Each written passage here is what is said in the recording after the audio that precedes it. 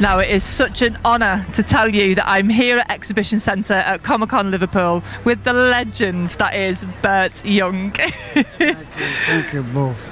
Burt, tell us what it feels like to see all of these Rocky fans coming to see you at Comic Con. Beautiful and sad in a way. It reminds me how old I'm getting, but it's very beautiful. They all care well, the people that uh, they're very lovely. Yeah, they've all got such fantastic memories of your career over the years. What is it like when you see the next generation of fans gushing about how fabulous you were on camera? I eat it up.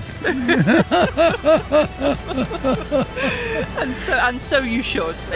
Thank you. I enjoyed them and, and myself. Mm-hmm. Now, I believe you're something of a fan of Liverpool. You like our music, right? You're a bit of a Beatles fan? Yes, yes, I love Liverpool. Mm-hmm. I've been here often, not often enough. I will be. Yeah.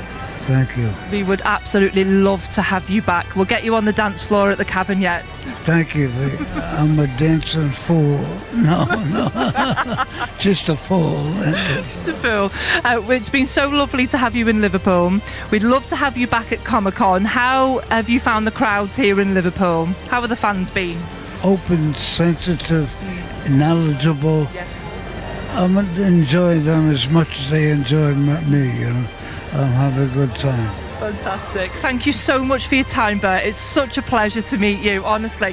What an absolute legend. Thank you so much. Lovely to meet you.